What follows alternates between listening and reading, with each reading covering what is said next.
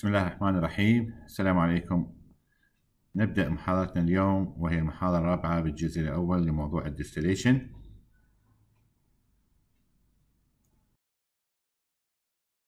المحاضرة لهذا اليوم تتعلق حول كيفية حساب عدد الصواني باستخدام الطريقة التحليلية. مثل ما عرفنا طلاب إحنا سابقا أخذنا بالمحاضرات السابقة آه، حساب عدد الصواني بطريقة الرسم. الآن راح نبدي ناخذها باستخدام الطرق آه، التحليلية. آه، قبل ما نبدي باستخدام هذه الطرق التحليلية راح نعمل على معرفة مصطلح مهم وهي كيفية حل هكذا موضوع عندما نأخذ عندما نتعرض إلى آه، ظاهرة تدعى بال total reflux total reflux مثل ما مبين هنا عندكم طلاب هي عبارة عن ظاهرة من اسمها ك total reflux أقصد بها إحنا جميع المواد المتقطرة اللي تظهر من أعلى البرج راح ترجع إلى البرج مرة ثانية. من الأعلى. يعني معناتها أنا ما عندي ناتج راح أستخدمه في عملية ثانية أو ناتج اللي هو أنا أريده من فائدة عملية التقطير كل المادة المتقطرة اللي راح تطلع من الأعلى على شكل بخار ونكثفها باستخدام ال condenser راح ترجع مرة ثانية إلى ال distillation وتدخل من أعلى البرج. عند حصول هذه الحالة راح يصير عندنا هنا من نقول total reflux كنتيجة نهائية معناتها راح نحصل على أعد أقل عدد ممكن من الصواني.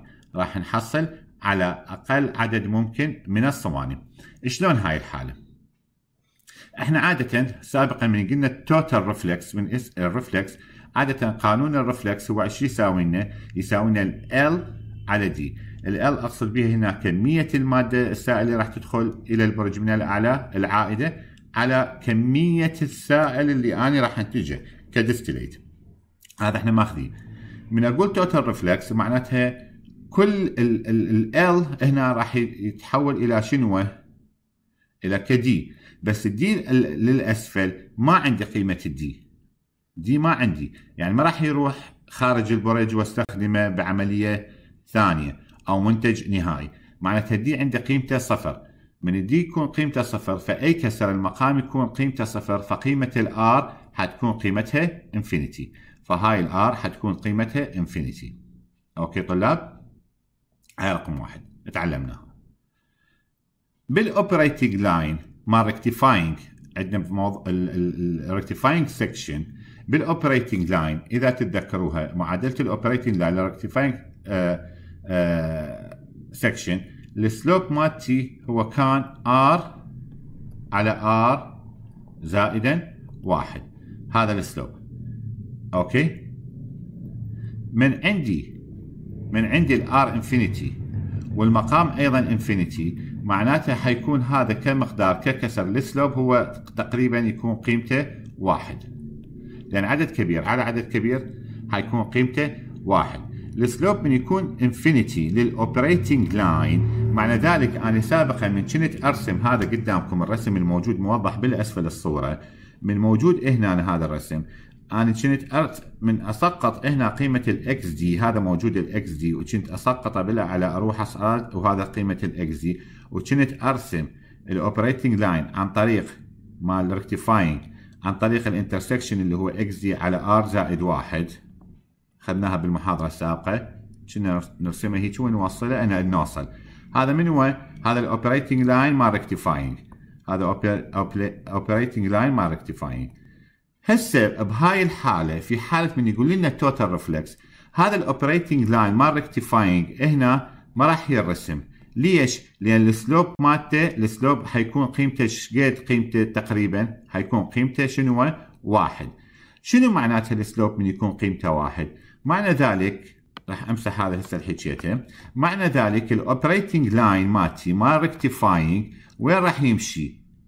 راح يمشي بمحاذاة خط ال 45 يمشي ويا الخط ال 45 هاي نتيجة من هو؟ نتيجة ال total reflux نتيجة ال total reflux من يقول لي total reflux معناتها ال operating line مال rectifying عند نقطة ال xD الموجوده على خط ال 45 هنا هاي ال D نمشيها تمشي ويا من؟ ويا خط ال 45 معناتها معناتها ماكو تقاطع مثل ما اخذنا من ال q line كله راح يتقاطع على خط ولا ولا الاكس دبليو كله حيصير على خط ال 45 أنا من يصير خط ال 45 على خط ال 45 أنا ما لي علاقة وين صار. أنا أريد أرسم من أريد أرسم أطلع بالرسم عدد الصواني النظرية. المساحة اللي محصورة بين ال equilibrium data اللي هو هذا القوس وال operating line اللي هسه الرسم على خطها هي تحسب عدد الصواني. فألاحظ المساحة اللي هي هنا محصورة. ألاحظ المساحة بأنه حتكون كلش كبيرة. أنا ما يهمني. أبدي أرسم. أفقي من نقطة ال xD أفقي عمودي. أفقي عمودي. إلى أن شنو أفقي عمودي. أفقي عمودي. فرسم عندي عدد الصواني. بس هنا أنا طلاب خلوها ملاحظة ببالكم. بما أنه المساحة اللي راح ترسم بيها هاي عدد الصواني اللي رسمناها عدد الصواني هاي المساحة كل ما تكبر معناتها عدد الصواني راح تصغر يعني جرفة شيء عام ياخذ مساحة الأفقي ويرجع ينزل عمودي راح ياخذ آه، جزء كبير من المساحة كل ما المساحة اللي هي بين ال equilibrium curve ويا ال operating line كل ما تكبر معناته إيش راح يصير عندي؟ ما يصير عندي عدد الصواني أقل. هذا حدث نتيجة شنو؟ ال total reflux. حدث نتيجة ال total reflux. وبالتالي إذا عرفنا فالظاهرة صارت عندنا بأنه من يقول total reflux معناته راح نحصل على أقل عدد من الصواني. أوكي طلاب نتيجة المسافة أو المساحة اللي موجودة تربط بين ال equilibrium data وال operating line إذا المساحة قلت راح تزيد من عدد الصواني راح تزيد من عدد الصواني. هذا هو الظاهرة من يقول لي total reflux فهنا طلاب آه راح ناخذ المعادلة شلون نحسب عدد الصواني النظرية ك minimum number of ideal tray في حالة ال total reflux في حالة ال total reflux يعني بما انه إحنا بدنا نحكي على ال total reflux معناتها ال total reflux وين موجود؟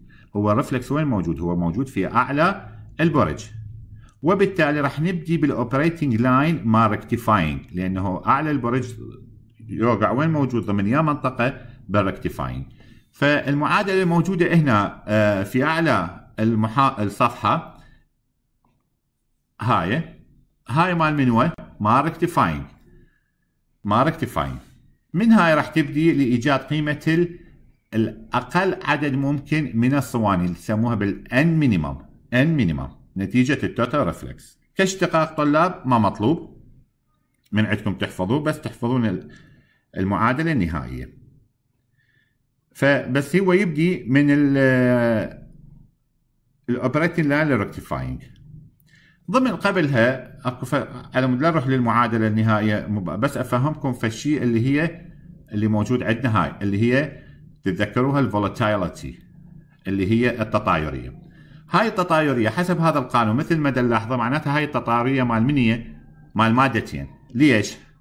لأنه لاحظت الالفا شو يساوي لنا واي اي على إكس اي على واي بي على إكس بي إذا معناته هاي التطايرية موجودة هنا alpha AB alpha يسموها AB معناتها الخليط اللي عندي هو عندي خليط متكون من مادتين.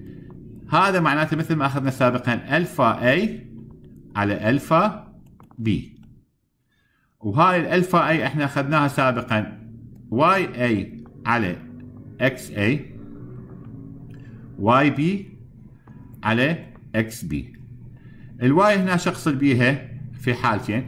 هاي ال yA هي معناتها نسبة المادة A كطور vapor نفس الحالة بالنسبة للمادة B وال xA وال xB معناتها نسبة المادة كطور سائل. هنا عرفنا بأنه التطايرية alpha AB أقصد بها هنا أقصد بها هنا هي التطايرية لخليط متكون من مادتين. من أقول alpha A معناتها المادة A هي موجودة بالبسط وال B هي الأساس مالتي موجودة بالمقام. هذا على مود نروح نشوف شنو هي المعادلة اللي تدعى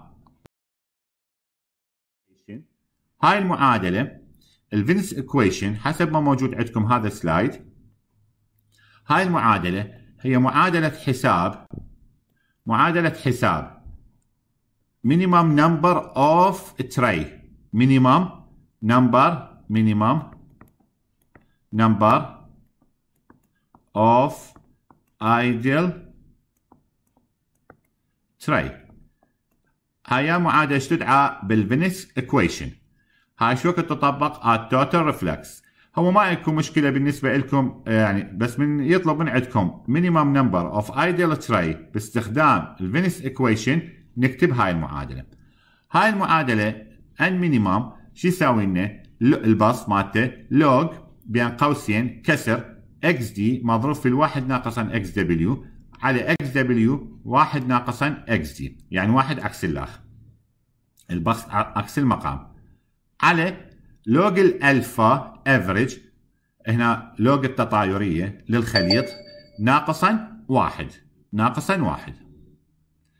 ال X D وال X W الموجودة بالبسط إحنا نعرفها هي ال mole fraction ال mole fraction للمادة شنو آه وين موجوده ال X D؟ بالمادة العفو بالجزء العلوي من برج التقطير اللي يظهر بالأعلى. نسبة المادة في الجزء العلوي.